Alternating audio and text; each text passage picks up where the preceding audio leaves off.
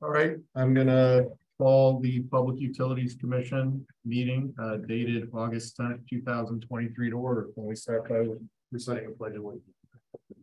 I pledge allegiance to the flag of the United States of America and to the republic for which it stands, one nation, under God, indivisible, with liberty and justice for all. All right. Um, do we have anyone on Zoom? I think that's Marty's number. Yeah, I'm on my phone. Okay, so we have no public comment. Do we have any correspondence? So no correspondence, minutes, um. Meeting minutes from the regular meeting of July thirteenth, two thousand and twenty-three. Can I have a motion on the minutes? Motion to accept. Second? Okay. Okay, any discussion? Has everyone gone through the minutes?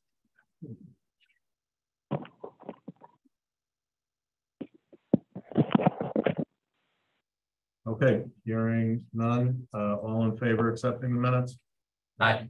Any opposed? Then I will abstain. I was absent that meeting. All right.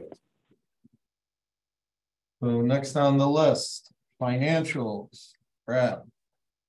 Uh, not a whole lot to talk about one month into the year. We're in a deficit position because we haven't built anything yet, because the billings are quarterly. Um, I ran through quickly where we were spending the money and.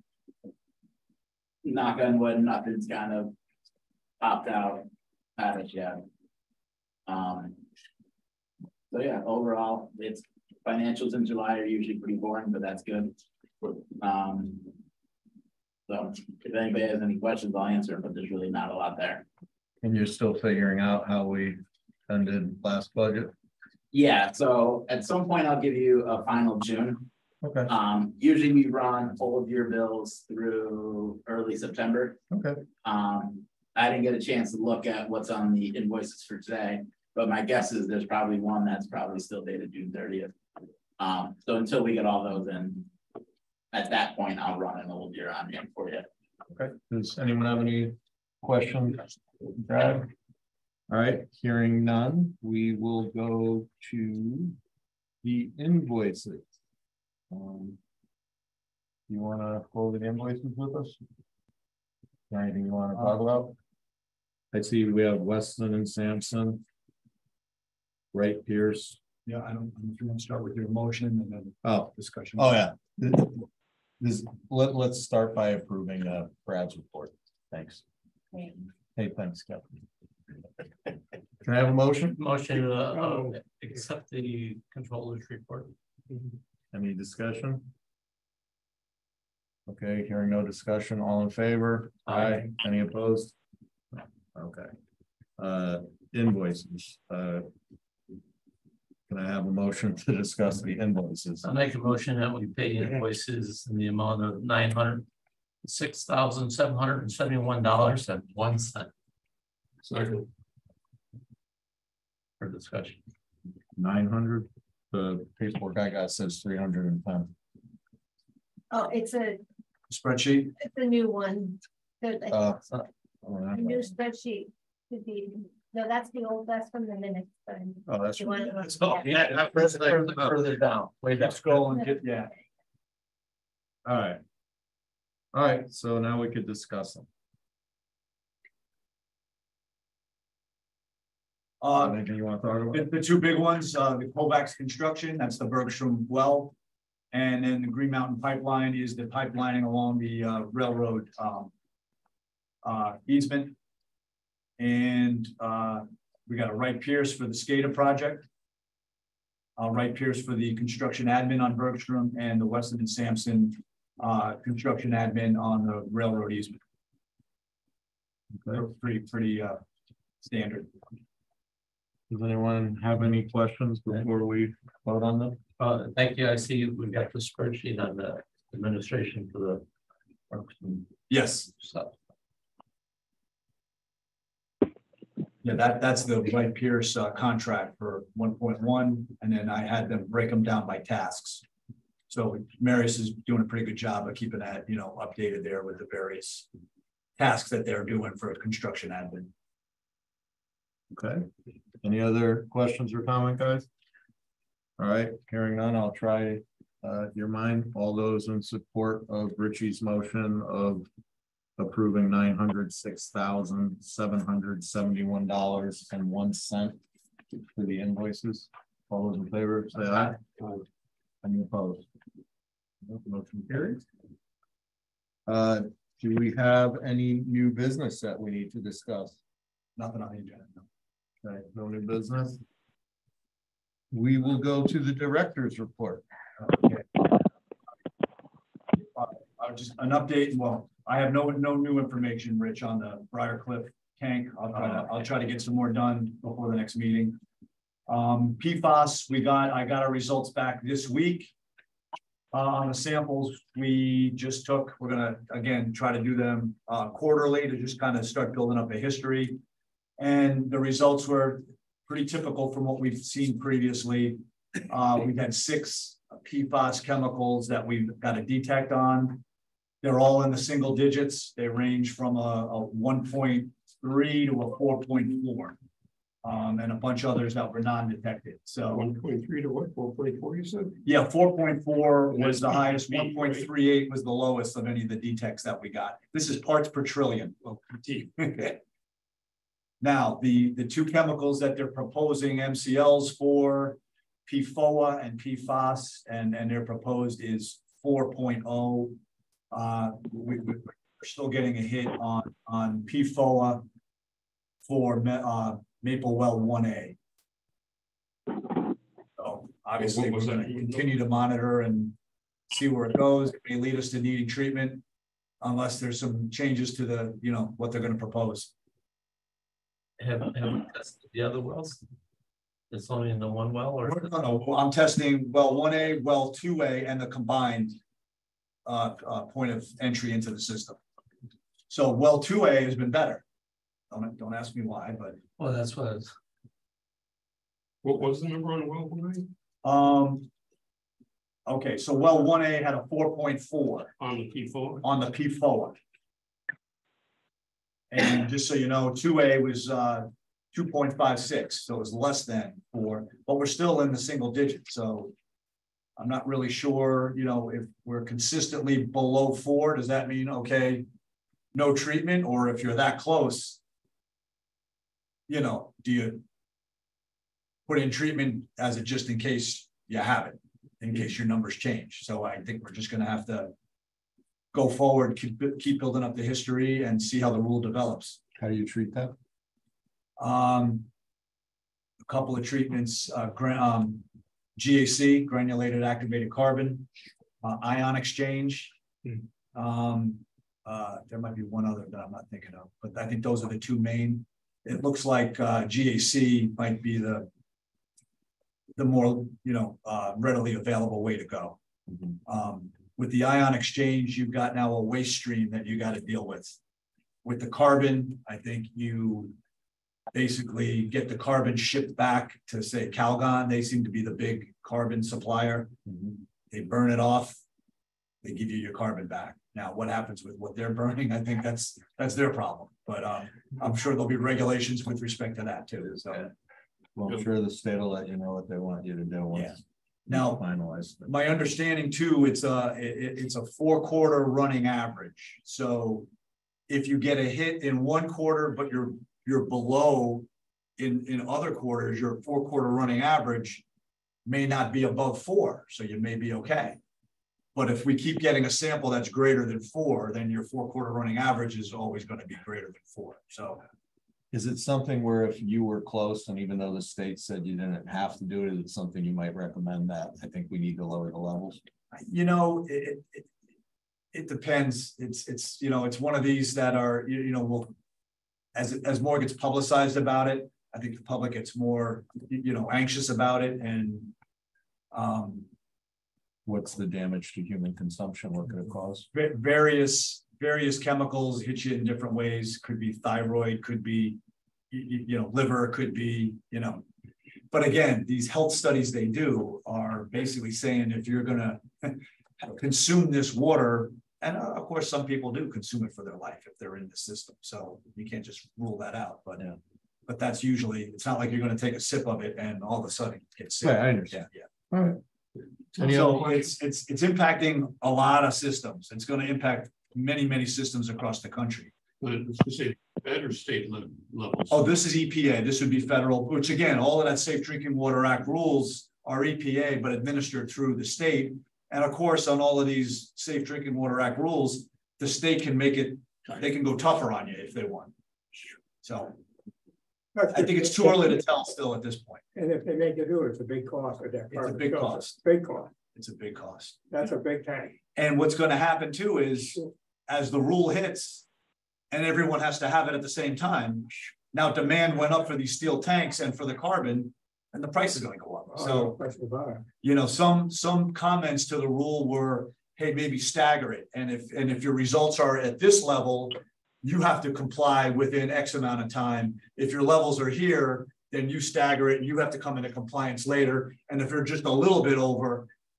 You know, so you stagger your compliance. right. Again, the rule is still open for debate. So I'm sorry, how many months are we away from having a long enough average? Uh, well, i- i- it's, um, the way the rule is proposed, they're saying, um, in three years, you have to come into compliance. What am I talking about, till you have your baseline? How- Well, we, you. we, we've, we've collected now, I collected samples in twenty twenty-one. And now my recent samples, which I'd like to do quarterly, we've gotten two quarterly samples. So if I get two more, then at least there's a year's worth, plus that previous, you know, but they seem to be like they're gonna be in those ranges. We're gonna be in the single digits. Most likely. So now it's a matter of, are they keeping the rule at four? And if we're right at four, how do you say no treatment? Or how does the state say, no, you don't have to treat? If you're exceeding, you're gonna have to treat. Yep. If you're close, I think you gotta really consider treatment, because what if your next sample puts you over? Yeah, Yeah. Well, Like you said, if if we Have get, the drawdown, Sorry, how much water you're drawing through to create it? Um, well, we're just, we're not changing our flow rate, we're just grabbing a sample. I don't know that it changes with the flow rate. Yeah. The low time, high time, stuff like that. Well, that's why I wanna do it quarterly, That's seasonally, saying, what's yeah. happening, All right, you know? okay, Yeah. But supposedly these chemicals, they're in the environment and they, they last forever, so. Oh, yeah. Unless there's more industry putting into the environment, which I don't know that there really is around here. I think they are what they are and So by, by the beginning of next year, we'll have an idea I don't- and we can make an informed decision. yeah, in, in say another six months.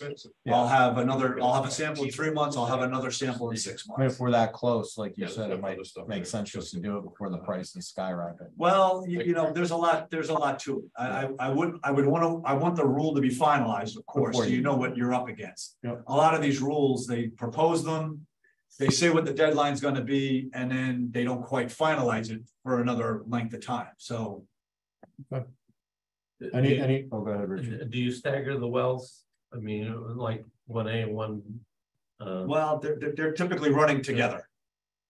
right, but uh. do When we use sample? the old- The old wells, are we using the old wells at all? Not, not, I, I'm, they're kind of on reserve for when we gotta take the main wells out of service, just because we're, you know, we're, the drawdowns and the output from the new wells are just better than the old ones. Okay, all right, I was So- just curious. What I'd like to see us do, maybe a little bit more now, is, is in the winter time, maybe rest those new wells a little bit longer, Mhm. you know.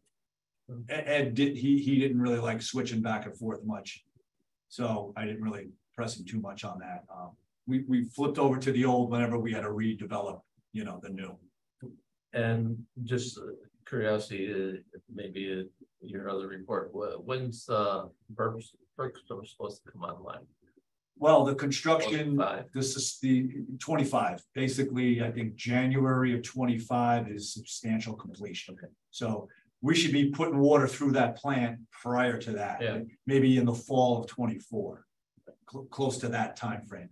Again, with supply chain and getting equipment and getting, I mean, uh, I won't be surprised if, if that end line is delayed a little bit, you know, so if we can meet that deadline, terrific, but, you know, we'll know better as we get closer. And just one more question. Sure. When you say you test uh, the, the samples at each wells and do you test it where they combine together? Yes, Yeah. And then, and then, And, and they're in that all, they're all in that same Same close number, right. exactly. They're all in that same ball.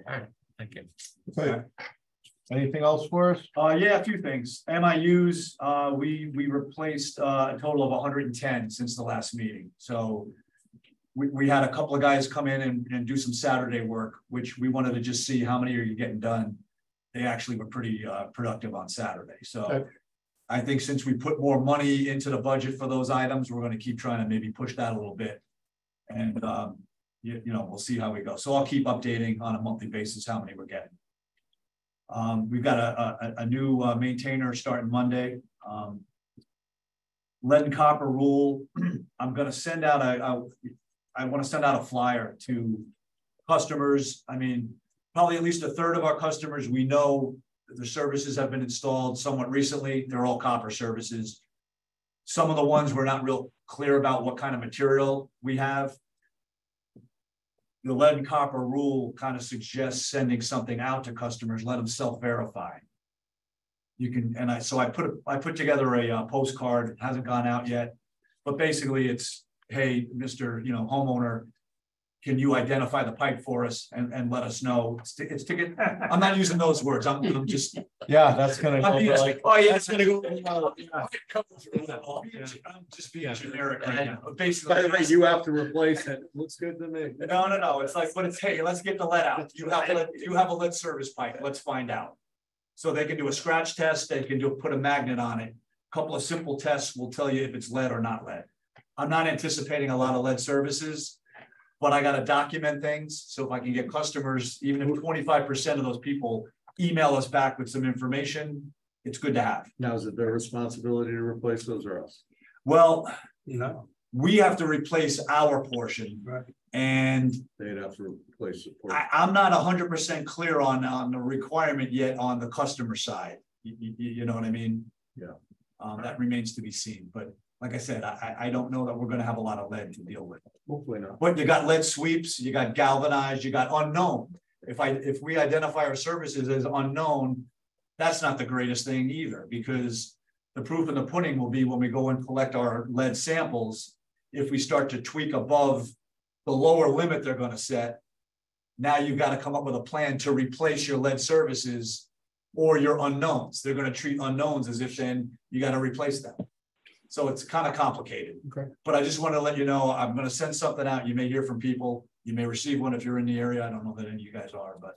Um, asking people to self-identify. And if I send out two thousand and if we get twenty-five percent of them come back, I'll be surprised, but. I'm sure my tenants will be really keen on telling me to come check. the place. Well, the other thing I'm putting on there is that if, if you want our assistance, call us and we'll set up an appointment. So I'm expecting people then will do that. Yeah, yeah.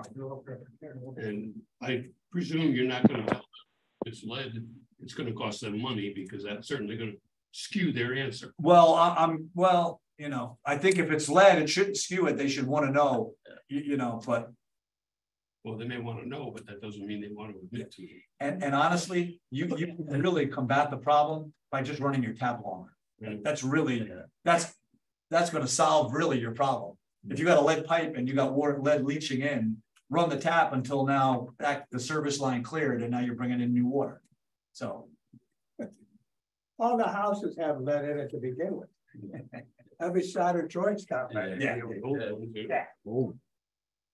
Um, that, that was it for director's stuff, All right. other than capital. I have a- But How how about, uh, mention about Hoyt's Hill? I, I- okay, yeah, I was gonna get to that too, sure. Um, Um, oh, and Uh, all right, so we had an issue last night with a service leak on Nashville. We assumed it was at the tap. Um, so Pembroke, we got Pembroke out because it was gonna be a, um, you know, a truck job and he would have been able to just do it on the fly. The leak was on the, on, on the main, on the threads on the corp, so he, they couldn't do it live. So we had to do a shutdown. We did the shutdown, replaced the service, no problem. Got everything put back together, no problem. Um, today, this morning, I guess Hoyt's Hill tank must have gotten a little low to start the day. And it looks like there was a communication issue, I think, with between the Chestnut tank and the South Street pumps. Didn't have a pump on overnight. So Hoyt's wasn't getting fed. I think that, that level came down even more. I think we hit a low suction pressure, which shut off the, the, the, um, discharge pumps. So it kind of snowballed into the pumps weren't running and the tank got drawn down. So when we came in this morning about seven or so, we got the, uh, put the pumps on on manual. Took a little bit of time, but we got Hoyt Hill water in the tank. We're able to get the, the domestic pumps running and, and basically got people water. So a little bit of an issue there, but uh, it was a good learning experience again for me as well as Santos. Uh, Ed- Ed's, you know, Ed's gone at this point. He knows that system pretty well. Justin happened to be out today. But we, we kind of knew what we needed to do and we- we got it going, so. Do they?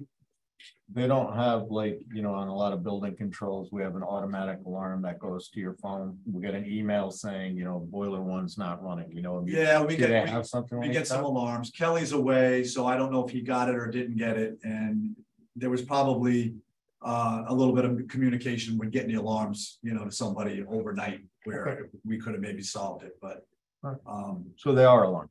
they are alarmed. We have alarms everywhere, for sure. And we have written procedures for how to handle it. Oh, yeah, well, yeah, you, you gotta, you gotta go up there and you gotta, you gotta, you gotta check out what's going on first, and then you go from there.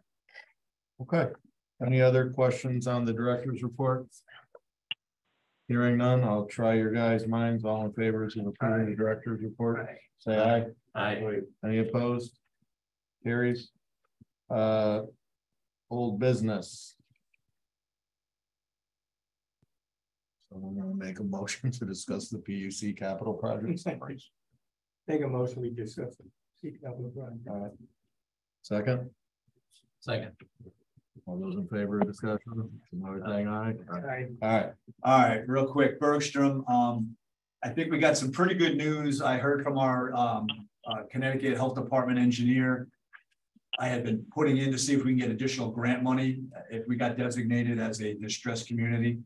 Um, we could have gotten up to like three million in a grant. He informs me we're gonna be eligible for like two point eight million. That's close So enough. That's that- right. that- that's pretty good. I was pretty happy with that. that's good. We don't have a loan agreement yet from them. They gotta go through their process, so I'm kind of waiting until I have something that says that we're getting a two point eight million grant in writing. Um, but it looks like that's where, where they landed, so that, that's good. Okay. Um. Progress on the job, again, not a lot going on in the field. We're still bouncing back and forth with uh submittals and, you, you know, requests for info. A Bunch of pipe got delivered. Um, the HDPE pipe that's gonna go from, you, you know, from the plant to feed back into the system. So I think he's gonna get going on some pipe work here in the next week or so. Can I ask, how come we're using that pipe rather than? steel? I think the cost difference and uh, I think with, with COVID and, and with, the and, and with ductile iron, the cost was like, and delivery times were what they were. So we went with HD. Just that we're mixing our pipe in town. Yeah, it's, that's just the transmission line from the plant to the, to the Right. distribution system. We're gonna have, um, we spec'd out having a, a, a trace wire with it. And we're gonna have an as-built telling us where all the joints are and stuff. So I How do they join that pipe? fuse it, yeah. And then they'll, they gotta do some, uh, internal piping that's gonna be under the slab. They gotta get that in place before they can start doing some. Yeah. testing. So I think once it gets really going on some pipe work, then concrete work can follow, and I think the, the, the project will get moving a little faster in the field. Good. Um, for the sewer, uh, railroad easement, um. He's got two lengths of pipe left. to line. We finally got his railroad and insurance all squared away. Um, the, the little bit of an issue now is with all the heavy rains we've been getting. That area is, is really soft. So if, we go several days and, and the sun beats on it, it's better. But we, we may need to put a little bit of gravel down there in certain spots so he can get his equipment passed. So now we're just trying to kind of get all that scheduled. Hopefully in the month of August, we can get that, that completed. Um, and the last one, Clark Park two, uh, last time I reported, we were waiting to get, we had to get a disconnect switch because the transfer switch did not come with a, uh, as a service entrance. So I met with the contractor today. He's got to do a little bit of reworking of his panel board so he can now fit an extra disconnect switch that he wasn't planning on. So waiting for him to get his stuff together and get back out there. Okay. Other than that. That's it. Sounds good. Are you gonna give the utility supervisor the report? We're gonna wait till next time. Um, really, probably the main break and, uh, and Hoyt's would have been something Kelly would have reported on, and the MIUs, so I kind of integrated, you know, his stuff in there. Good job. All right, can I have a motion? So I'm gonna make a motion. Second. All in favor? Aye. Aye. Aye. Good job. Thank you. Thank you. Yeah, this, this, So is, is that something we're gonna look at after using all that kind of pipe? HDPE?